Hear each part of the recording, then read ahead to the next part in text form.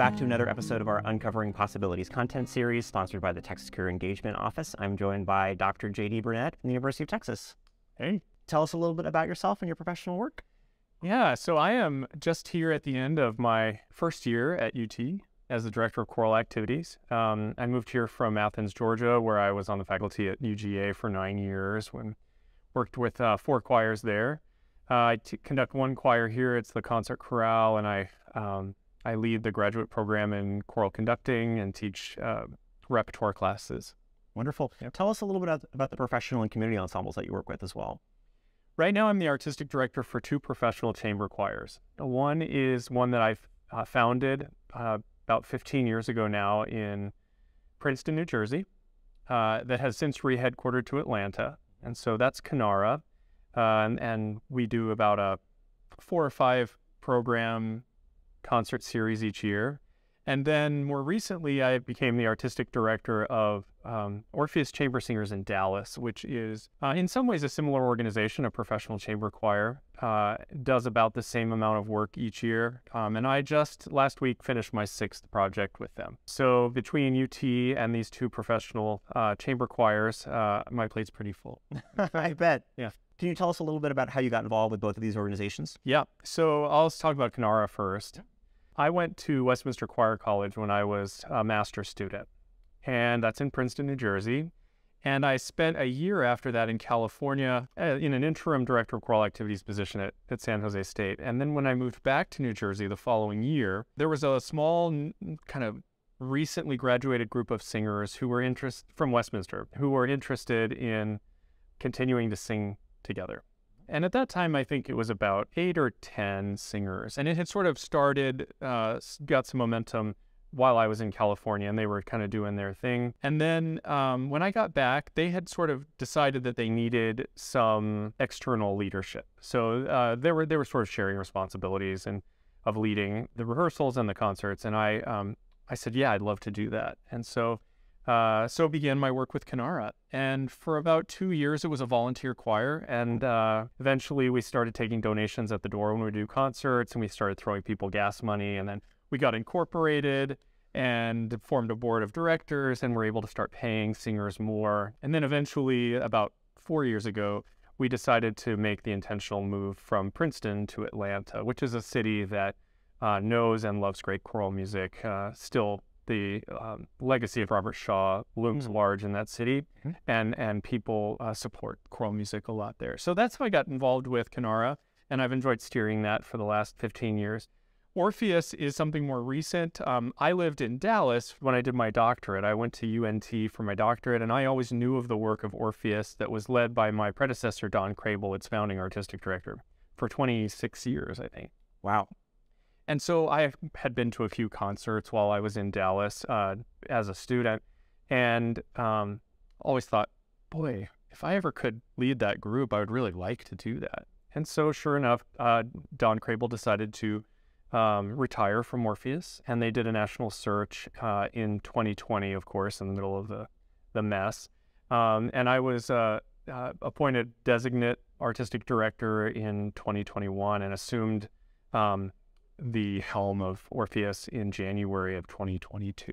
So it sounds like these two ensembles, although they're, they're very similar, your level of involvement from, you know, starting almost nearly from the beginning to something that's way more fleshed out and present in the community is really different. Yeah, it is. Um, I, I feel like because of my work with Kinnara, uh, I have a really uh, kind of unique sensibility about what it's like to be a founding artistic director. And so um, I, you know, as I took over for a founding artistic director, I felt like that was something I wanted to be sensitive to, right? Um, and to continue the great work of somebody who uh, who led the ensemble for so long. So while the organizations are similar, my level of um, attachment to them is obviously different. Although uh, just in about a year and a half, I've grown very fond of Orpheus. Right. Um, although Kinnara will always be in a, a special form of my baby. Absolutely. Yeah.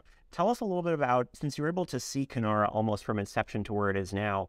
Um, what sorts of growing pains did you guys go through, or, or what are different challenges that you've had, and how have you proceeded through those? Yeah, that's a great question, and one that was actually the subject of a, a case study at Eastman about Kinnara. Oh. Yeah, it began with a dissertation by my friend Kyle Nielsen, and then uh, was published in a case study thing at Eastman. So, Kinnara is interesting because it began as a volunteer organization and then eventually became pro, like I said a few minutes ago. And um, it was, it took root in Princeton, which is a small town. It's actually a very small city in the corridor between New York and Philadelphia that was already served at the time. This is 2008 by the American Boy Choir and Princeton Pro Musica and the Princeton Singers, another professional choir and the only choir college in the world, you know. And so the the landscape was saturated with choral music. So many groups over the years, you know, kind of sprung up and then didn't survive. And fortunately, Kinnara has. But the biggest struggle for us was how to make a go of it financially in an already saturated market uh, in central New Jersey where a million choirs were at our dis- at anyone's disposal, or if they wanted to just hop on the road and go north or south an hour, they could be in Philadelphia or New York, where everything's uh, present. So one of the things that precipitated our move to Atlanta was that we saw a city that was underserved by professional choral singing, and that was Atlanta. Uh, not underserved at all by volunteer singing, but by prof- there was no resident professional chamber choir, and so uh, we have tried to meet that that need. And so the the challenge for us is, is pretty consistently been financial, like so many of these uh, 501c3 nonprofits. It's all about creating a following and developing an audience base and developing a donor base and future board members and people who can help you perpetuate the work that you're doing. And so that's been the biggest struggle for Kinnara. It's been true also for Orpheus um, in a different way in a different city. Um, the two big kind of qualifying differences between Kinnara and uh, and Orpheus at the moment artistically is that the singers from Kinnara come from all over the place, all over the United States. Um, we have a beautiful core of local professional singers that um, that work with us regularly, but we augment that with um, singers from all over the country who do this on a semi or quite professionally full time basis. Um, in Dallas, our singers are all North Texans, hmm. and so um, it's the Metroplex in Dallas, as you as you know, is is rich with talent and and it's a beautiful art scene. And so it's easy to, to populate a professional chamber choir with local talent. And I, I like that sort of articulation between the two groups. Can you talk to us a little bit about, you know, you were mentioning donor base and understanding your community and connecting with the audience. Can you just sort of talk about things that you've learned or, or uh, that have specifically helped you to foster that? Because but not surprisingly, that's been a common link between the, the different folks that we've spoken to oh, work in community music. Yeah, of course. I mean, and it's true. It's true whether it's a professional organization or not, and we can talk about that in a minute. But there are people in in our line of work that, or in some of my colleagues for whom fundraising is apparently at least easy, you know?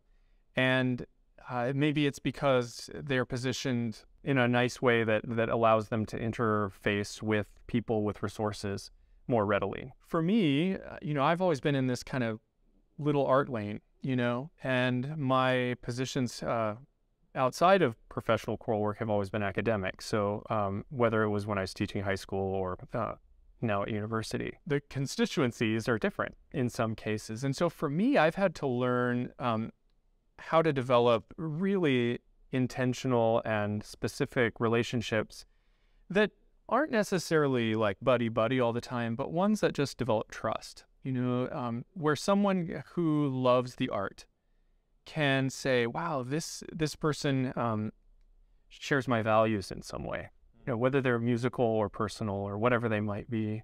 And I trust this person in terms of what they're able to bring to the table musically and artistically, and you know the qualities with which they lead.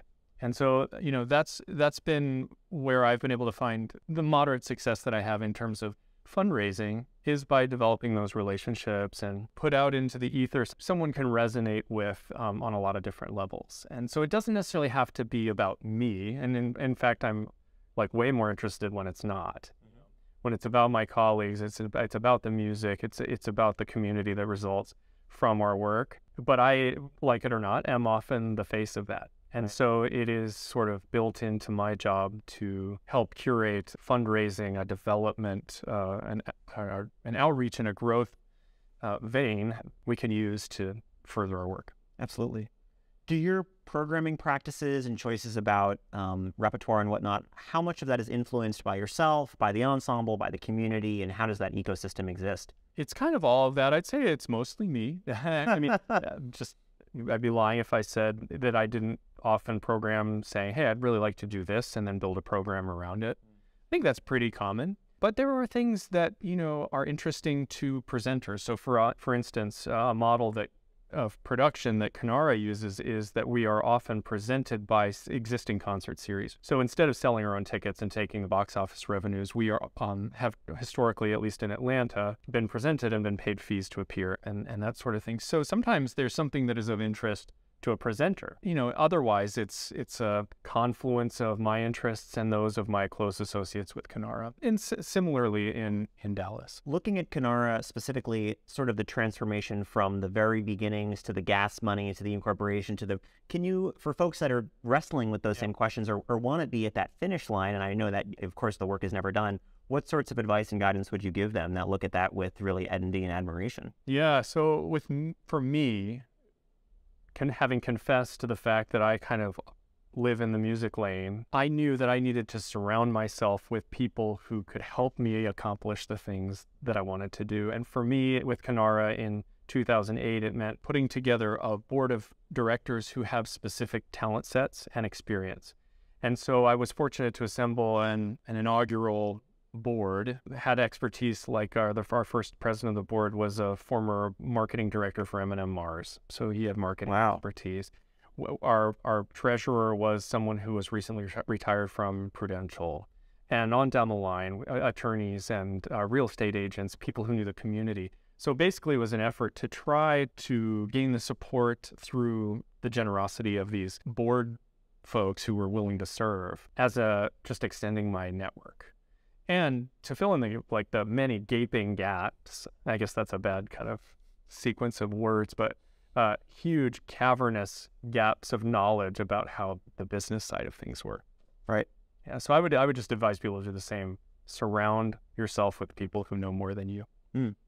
What skills, artistic and otherwise, do you feel best serve you in your work with your professional ensembles as well as with your uh, work at UT? I've been asked this before, um, and I think you know whether it's musical or not, like the things that, that I guess apply most consistently across the board are leadership qualities. I think somebody coined the term one time situational leadership. I don't know if that's something that everybody kind of knows what that is, but it, at its most most kind of base level, it's um, just kind of being able to s- survey a scenario and accurately sort of diagnose like what does this scenario require of me? And the struggle for that for me and i suspect for a lot of people is like through those quest that, that kind of question like you learn a lot about yourself. And how can i provide what's needed without violating any of my personal standards you know uh, my values? How can i do this in a way that conforms to my values but that borrows from a wide palette of available personality traits that i have? Because i can be very introverted and I can be very extroverted. Both are authentic. You know, it's just like certain times require certain things. And I use that as just one example. But just being able to to kind of determine what is needed of, me in this moment and what version of myself, my authentic self, can I apply to try to yield the results that that I would like to see come. And so I would say leadership is probably the biggest part of of that that has applied across the board at, in academia and in professional choral singing and in all the community work that I've done uh, prior to to this. Absolutely. In fact, let's just double back to that really quick yeah. because I'd love to love to hear more about that. Can you sort of share your experience? I know that you've done a lot of guest conducting and whatnot in a variety of contexts. So can you talk about maybe some of the differences between community music and professional music and how how those skills may, may differ or be the same? One of the things that I've tried to to shape in my artistic life is like that I could at any moment kind of pivot between any level of music making. And I've been able to do that fairly well at the top level and at the beginning level. I'm, I have the least experience with like very young musicians, but that's always been valuable to me because I feel like it balances me in a certain way. And so everybody needs the same thing. They just need it in different proportions. You know, so I, I'm always a teacher. I'm always a conductor. You know, I'm always an educator. I'm always an artist. And it just, it, you know, it's just finding the right combo of those things in a given situation that yields the kind of results that, you know, you desire. And so, aside from that, I think that the biggest differences in community or volunteer organizations are people's motivations for being there. Some people come to a community organization for the community. Some come for the community and the art. Some come for only the music, you know and and you've got a, a, wide variety and you're inside that constituency to try to meet, you know, and try to uh, fulfill and provide for. And I like that. I, have always enjoyed that a lot. And I, I, feel like Robert Shaw always said that music should, at, its heart, always be an amateur endeavor. You know, those, the lovers of it, from which the word amateur comes. And if we can serve that in people uh, at every juncture or the best we can, then, you know, then you can do great things. I think otherwise they share a lot of the same struggles. They share the fundraising struggle. Now, their revenue streams differ significantly a lot of the time, right? There are a lot of granting organizations that like to give money to programs that are cultivating amateur musicians. There are a lot of opportunities inside of volunteer organizations to be connected to the community in, in a way that a professional choir can't exactly. And just there's just such a wide, like, wide reaching kind of tentacles of um, folks who are involved in the community choirs, for instance, who connect to the city that they're in or the community that they're in. They come from all walks of life. And and so, you know, filling a house for a concert for them is a different task slightly than for a professional choir, and in some ways easier for a community organization than a professional one. Those nuances are are are many, but there's a lot of overlap in, inside what's the struggle for nonprofits across the board. Um, but I've always enjoyed, you know, working with the many community choirs, Houston Masterworks Chorus, the Masterworks Chorus of New Jersey, the Young Men's Chorus of New Jersey. Um, at UGA, we had a town and gown choir that met on Monday nights. It was a, a meeting place for undergraduates and graduates and faculty and emeritus faculty and, and, and members of the surrounding Athens community. And so, you know, that's just such a rich experience. And I've, I, I'm not doing a lot of that right now, but at UT, I foresee that there might be a place for that too in the future. So a lot of different ways to do the same type of work, but you know, it's all it's all an endeavor of bringing people together. I mean, it really seems like all of those ensembles that you were talking about as well are just a great way for folks that have music in their life every day, really through school and through being in high school, band, orchestra, choir, mariachi, jazz band, etc., for a way to, for them to keep music in their lives. Yeah, and that's the thing is, um, I always I, I say this when I go out with the UT choirs to do recruitment tours to high schools and stuff. That I feel like when I taught high school, which I did for five years, I, I feel like maybe one of the things that I didn't do well enough was to keep encouraging them to sing after high school. To, just to know, hey, there's if you're going to college, there's a there's a choir for you. You know, You've learned so much. Keep doing it. It's something that can bring you joy your entire life. And there aren't very many things like that. You know, there's a church choir, there's a community choir after that. If you get tired of singing, but you still love music, be a board member, be a volunteer, buy season tickets. You know, help to perpetuate the arts because of uh, the impact it had on you as a young person. I wish I'd done a better job of that when I taught high school. So you mentioned, you know, the importance of leadership skills through all of your work with community music. Can you tell us a little bit about more how you cultivated those skills? Yeah, and and I've always been interested in in in teams and group endeavors. I grew up at the United States Military Academy at West Point. My dad was a college football coach. And so I think I couldn't possibly have escaped an experience of like leadership awareness and team building, you know, uh, community building, group effort. That probably just inculcated in me in an early age and, and began to develop a, uh, an interest in and an admiration for beautiful leadership and having seen examples of really great leadership and really not great leadership. And then as an adult, well, as a student, and then as, as an adult, like just, I happen to have had just a, a, a whole litany, like a sequence of really fantastic mentors. Really, like a, an embarrassment of riches. And I've been able to watch them work and and see what it is that makes them so successful and try to try that costume on myself figure what, how does that feel natural in my body? How is it how is it effective in my personality? What can i borrow from? What is my instinct telling me? Whatever instinct is by the time you're an adult you know because you're not totally divorced from outside influence. And then you know just finding my own voice inside of that. I you know whoever it was that said artists borrow great artists steal whatever yes. you know it's admiring certain things in certain people and then saying, oh, how can I how can I use that in my own work? And in an authentic way, so I'm not copying somebody, you know, it's sometimes a challenge too. But yeah, I don't know. I, I have always been interested in that and I've always, you know, just been an observer. I always tell the undergraduate students and graduate students, I was like, you no matter what your degree is, if you want to go out there and be a music teacher or if you want to lead an ensemble, if you want to be a conductor, you learn the most by singing in the choir, playing in the in the ensemble, right? You learn the most by being there every day with your butt in the chair, you know, just watching. And if you are some sort, if you just like manage somehow to let four years of an undergraduate experience slip by because you've just been blithely sitting in the chair and been inactive, um, it's it's a squandered opportunity because there are so many things that can be learned just by watching, and you don't have to sit there and agree with everything. You know, you can sit there and be like, okay, what's what's she gonna do next up there? Uh, why did he do that? Oh man, that worked. Ah, that wouldn't have been my priority. Oh boy, um, I will not do that. You know, it's it's just an activity inside of you, so that you're not just sitting there being a passive receptor the entire time. Right. You know, having agency in your own education by by being an engaged um, uh, observer. And I think that's where I've learned most. This is, this is so wonderful. So you've already given us so many pieces of advice and, and wisdom and, and, things to think about. So our podcast, our content series is called Uncovering Possibilities. It's really for folks, graduate students and postdocs that are considering opportunities in academia, but also potentially more of a portfolio career that would include work out in the community or with professional ensembles or any other professional endeavors outside of academia. So do you have any last words of wisdom for folks that are listening that you'd like to share? Don't be scared to do it wrong. You know, whatever choice you make is kind of the right choice at the time.